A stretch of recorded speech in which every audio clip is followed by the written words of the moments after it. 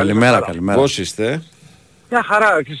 Σκεφτόμουν το πρωί άσχετο βέβαια με το ρεπορτάζ του Ολυμπιακού, αλλά βλέποντας την αύξηση της Αργεντινής στον Buenos Aires, Ναι. σκεφτόμουν με αυτή τη Latin, την ωραία τη μουσική, Ναι. να το είχε πάρει η Γαλλία. Δεν λέω ότι δεν θα πανηγύριζαν, αλλά νομίζω άλλη ατμόσφαιρα στο Καμία στο σχέση. Buenos Aires. Το πα- πανηγυρισμοί δεν θα είχαν σχέση πιστεύω. Βε- Πάλι θα γέμιζε ρε παιδί μου το, Θα γέμιζε, το θα κάναμε Παρίσι την πόλη κλπ. με το ανοιχτό λεωφορείο, θα τα είχαμε όλα Ε, αυτά. τώρα, Αλλά Αλλά ναι, σε εντάξει. τέτοιο βαθμό και εγώ συμφωνώ. Άλλο το Disneyland και άλλο το Buenos Aires. δηλαδή, Έχει διαφορά. ρε φίλε, εντάξει. διαφορά. Διαφορά. Έχει μια διαφορά. Και να σου πω κάτι, να το πούμε κι αλλιώς. Είναι και πιο στερημένη η Αργεντινή, είναι παιδιά. Οι άλλοι το πήραν το 18. Και το 18 θα το είχε πάρει η Αργεντινή, πάλι τα ίδια θα είχαμε. Και πιθανότατα θα το πάρουν και το 26 λόγω. Οι Γάλλοι. Δηλαδή. Ε, εντάξει, το εξής θα γίνει σε τέσσερα. Πάντως η χρόνια. Αργεντινή δεν θα το ξαναπάρει τώρα. Δηλαδή έχει ακόμα ο, μπροστά της καμιά 20 25 χρόνια πάλι. Εντάξει. Μ' αρέσουν πάντως οι εικόνες που... Καλά, Μ' αρέσουν εννοείται. πολύ οι εικόνες που βλέπω. Εννοείται, εννοείται, εννοείται. εννοείται. εννοείται. Μα είναι στο ποδόσφαιρο η Αργεντινή νομίζω. Μα είναι, είναι η χώρα που έχει κάνει. έχει αγιοποιήσει ποδοσφαιριστή. Κανονικά Ναι. έχει αγιοποιήσει. Έχει, έχουν γίνει εκκλησίες ναοί στο όνομα του Μαραντόνα. Και σήμερα είναι και αργία στη... Ναι, ναι, ναι, ναι. ναι. Καλά, σε αυτό, σε αυτό αποδεικνύουν πόσο κοντά είναι το DNA με το δικό μας. Έτσι. Εκεί αποδεικνύεται. Ε, μαζί μας. Μαζί τους. Εννοείται, εννοείται. εννοείται. Λοιπόν, έχουμε αγώνα αύριο. Ναι, φίλε, το ξέρουμε, φίλε. Εκτός έδρας αγώνα αύριο. Γιάννενα, κρύο, γρασία. Τι ώρα είναι το Ναι. μάτς; 8. Ε, το- Α, 8. 8. 8, 8. Βραδινό το Οκτώ. βάλω. Μάλιστα. Ναι, τουλάχιστον ε, καταφέρανε να, να, να συμπέσει ένα τέταρτο με το Ιωνικός Παναθηναϊκός. Ε, ένα κοσάλιτο με τις καθυστερήσεις. Ναι, σωστό με τις καθυστερήσεις θα πάει λίγο παραπάνω. Ναι. Ε, περιμένουμε σήμερα να δούμε τα τελευταία πλάνα του Μίτσελ. Και όταν λέω περιμένουμε να δούμε τα τελευταία πλάνα του Μίτσελ, νομίζω αν θα χρησιμοποιήσει ή όχι τον Ινδεόμα από την αρχή. Αυτό νο- πρέπει να είναι με βάση τα όσα έχει δοκιμάσει το, το ερωτηματικό για την αρχική ενδεκάδα. ναι. Δεν φαίνεται... Ε, εντάξει, είναι και το κέντρο της άμυνας που είναι οι τρεις που διεκδικούν την ε, θέση. Δηλαδή είναι και ο Σοκράτης και ο Ντόι και ο Ρέτσος που διεκδικούν τη θέση. Τώρα από εκεί και πέρα ε, οι υπόλοιποι είναι... ε, Ο Μαρσέλο φαίνεται να έχει προβάδισμα Για αριστερό μπακ. ε, για αριστερό μπακ. Ναι. Και σ- στην απέναντι πλευρά ο Βρουσάη. Στα χαφ ε, ε, ο ένας είναι εμβυλά και ψάχνουμε τον άλλον. Και μένει να δούμε τώρα και το, το πώς θα χωρέσει, αν θα τους χωρέσει όλους μαζί μπροστά. Ε, θα παίξει βάση, ε, ο, ο βασικός ο Χάμες λογικά, έτσι. Αυτό είναι το θέμα. Χάμες, Φορτούνης, Μπιέλερ, Αραμπή. Και πώς θα παίξουν. Γιατί την τελευταία φορά που τους δοκίμασε όλους μαζί στην προπόνηση έβαλε ε, για ένα διάστημα το Χάμες και το Φορτούνη στα άκρα και τον Μπιέλ πίσω από τον Ελαραμπή. Να σου πω και κάτι άλλο που μπερδεύει ακόμα περισσότερο τα πράγματα. Να μου πεις. Στο παιχνίδι κυπέλου, ε, στο δεύτερο ημιχρονό, νομίζω ότι ο Ροντρίγκες με το που μπήκε στο γήπεδο είχε καλή εικόνα. Σωστό. Απλά σου Που λέω σημαίνει- το τι έχει δοκιμάσει. Δεν τον αφήνω απ' έξω. Όχι, όχι. Γιατί Που- τον ναι. έχει εκτίμηση ο... Επειδή, ο ε, Μίτσελ. μπράβο, επειδή το κύκλωσε το δεύτερο ημιχρονό ο, ο Μίτσελ και το είδε ίσως και πιο λειτουργικό, έτσι. Το, με έναν καθαρό εξτρέμ, τουλάχιστον. Που στερείται καθαρού εξτρέμου Ολυμπιακός. Ε, ναι, γιατί άμα παίξει με Μπιέλ, ε, Χάμες και Φορτούνη, δεν έχει παίχτη να παίξει πάνω στη γραμμή. Δεν έχει Ξεκάθαρα παίχτη. δεν έχει καθαρό εξτρέμου. Γι' αυτό σου λέω. Ότι είναι αν ακόμα πιο παίξουν- μπερδεμένο τώρα το πράγμα. Απλά σου λέω ότι περισσότερο έχει δοκιμάσει ε, Χάμες, Φορτούνι, Μπιέλ, Ελαραμπή και πολύ λιγότερο τον Γκάρι Ροντρίγκες. Παρά το γεγονός ότι η επισήμανση που έκανε είναι απόλυτα σωστή. Μμμ. Δηλαδή ότι άλλο εξτρέμ καθαρό, καθαρό δεν έχει. Ναι. Εγώ, είναι. εγώ λέω πάντως ότι επειδή τη δεύτερη, το δεύτερο μήχρονο το κράτησε στο μάτς αυτό, ο Μίτσελ, εγώ λέω ότι το Ροντρίγκες το θεωρώ πιο σίγουρο από όλους. Μαζί με το Χάμες. Λογικά γιατί ο Χάμες δεν είχε ξεκινήσει βασικός λόγω εκείνου του προβλήματος του μικρού που είχε και, Σωστό. φο, και φοβόντουσαν η υποτροπή έτσι. Σωστό. Απλά επειδή ο Μίτσελ σε μεγάλο βαθμό αυτά που δοκιμάζει ε, τα βλέπουμε και στο γήπεδο, σε μεγάλο βαθμό, όχι 100%, Ναι.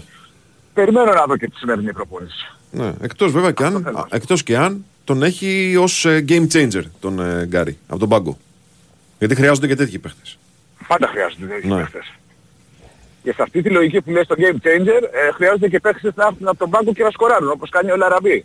Αλλά θα μου πεις έχεις ένα παίχτη που σκοράρει και θα τον βάλεις στον πάγκο για να βάλεις μέσα τον Μπακαμπού, δεν το νομίζω. Ναι, είναι πολύ μεγάλο το κοντράστ ε, του πρόσφατου, του τελευταίου παιχνιδιού έτσι. Και των φιλικών. Και των φιλικών, ναι. Ναι. Και τα, στα φιλικά στην Ισπανία, αλλά και στο, στο παιχνίδι του κυπέλλου του Ατρόμητο είδαμε ένα Λαραμπή που λες κοιμάμαι ήσυχος όταν παίζει Ναι. και ένα Μπακαμπού που θέλει τις ευκαιρίες του και δεν, ε, δεν σε γεμίζει σιγουριά ότι θα βάλει τα γκολ που χρειάζεται η ομάδα. Θέλει αρκετές ευκαιρίες για να παραβιάσει την αντίπαλη αιστεία. Ναι, και επίσης να μην, συ- να μην ξεχνάμε, το κύπελο είναι μάτς ε, που ακόμα και μισό λάθος ή ένα λάθος το επιτρέπει. Στο πρωτάθλημα δεν είναι έτσι. Στο πρωτάθλημα δεν έχει περιθώριο ο Ολυμπιακός Ε. για, για λάθη που, που λες έχω χρόνο να δω διορθώσω Ναι. αύριο μεθαύριο. Ναι, ναι. Δεν υπάρχουν αυτά τα, τα περιθώρια. Ε, έχασε πολλά κανονάκια ο Ολυμπιακός στον πρώτο γύρο, οπότε τώρα προχωράει χωρίς να, να έχει την πολυτέλεια για απώλειες βαθμών. ναι. Θέλει δηλαδή αύριο κατά τις 10 να έχει συν 3 στο ενεργητικό του.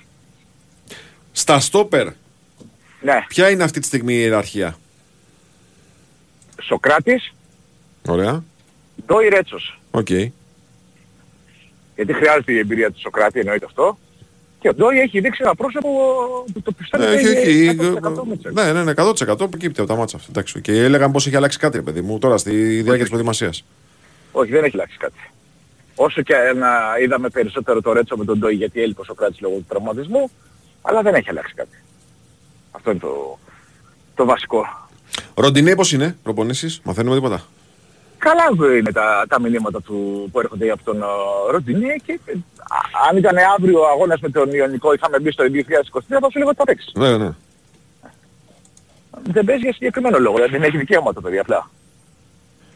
Στα άλλα, Αυτά μετα... είναι. στα άλλα μεταγραφικά, Νίκο, καμιά εξέλιξη. Με τα γραφικά ψάχνει ο Ολυμπιακός εξτρέμ.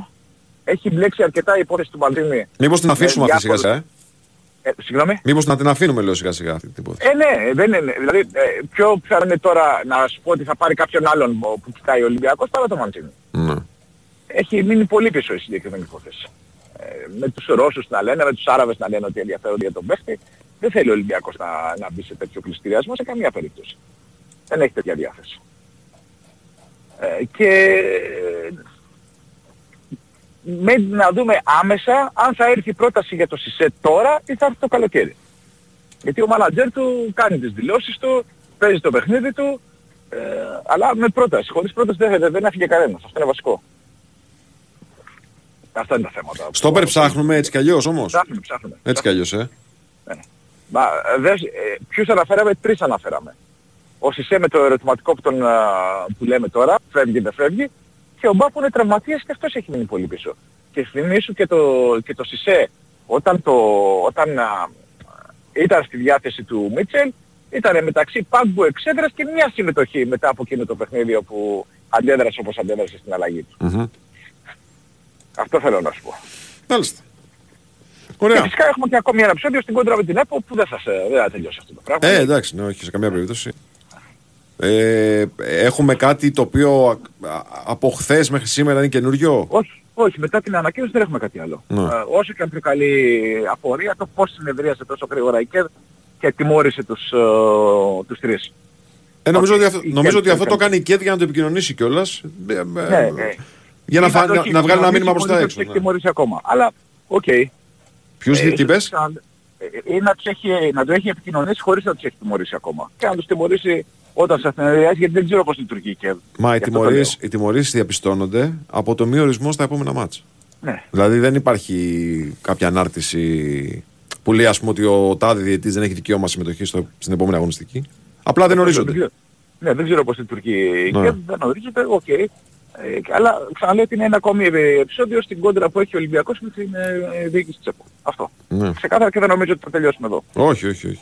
Και νομίζω ότι ήταν μια επιστροφή στην ελληνική πραγματικότητα. Κανονικότατα, ναι, τέλειωσε το Μουντιάλ και... Ναι, ναι, ναι. και Μην ξε- αφήσαμε. Να μην ξεχνιόμαστε. Ναι, να μην Ναι, ξεχνιόμαστε. τώρα να, να μπούμε στο κλίμα κανονικά. Ωραία. Έγινε Καλή Νίκο σας μου. μέρα. Έγινε, Έλα, Νίκο. καλημέρα.